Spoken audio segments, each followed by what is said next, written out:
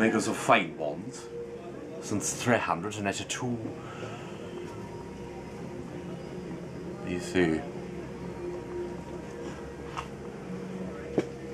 What is your name? Sabrina.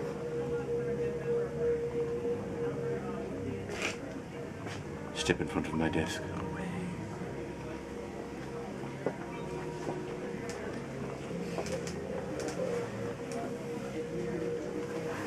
Which arm is your wand on? Your right, see. Stand here, please. Hold out your wand arm like this. Very good. Straight out. There we are. Now, you may know that every Ollivander wand has a core of a powerful magical substance. We use unicorn hairs, phoenix tail feathers, and the heartstrings of dragons. No two Ollivander wands are the same, just as no two unicorns, dragons, or phoenixes are quite the same. And of course, you will never get such good results with another wizard's wand. For you. A wand of alder.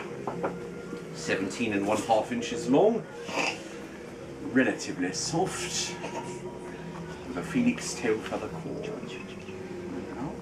Now, I should like you to light up the tip of the wand, give it a wave, and say Lumos. Lumos. Dear. Meteolojinx Recanto.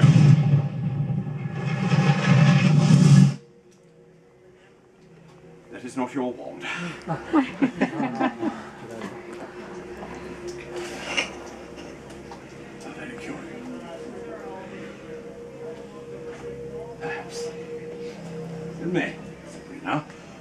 When is your birthday? January. January 5th, I say. Let us try a wand of willow, ten and one half inches long, swisher with a dragon heartstring cord. Now, you see the bell directly above. I should like you to make it ring one time. Simply give your wand a wave and point it at the bell.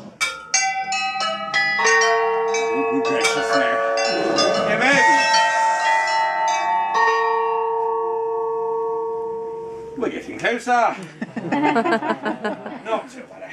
After all, it is the wand that chooses the wizard. Now.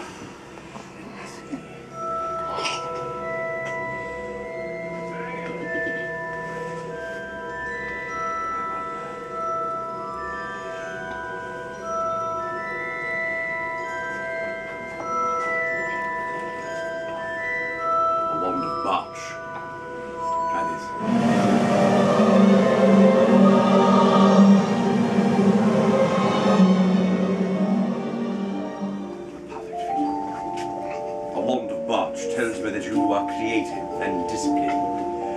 This particular wand has a core of unicorn hair, which means that your charismatic charm will help you on your way. If I may.